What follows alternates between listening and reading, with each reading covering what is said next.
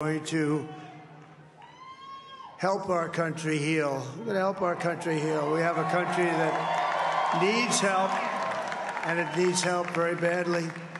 We're going to fix our borders. We're going to fix everything about our country. And we made history for a reason tonight, and the reason is going to be just that.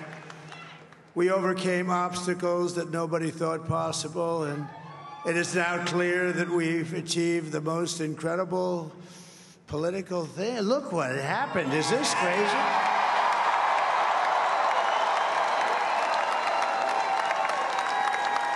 But it's a political victory that our country has never seen before, nothing like this. I want to thank the American people for the extraordinary honor of being elected your 47th president and your 45th president.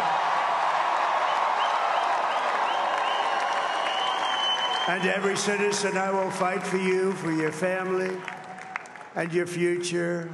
Every single day, I will be fighting for you, and with every breath in my body, I will not rest until we have delivered the strong, safe, and prosperous America that our children deserve and that you deserve.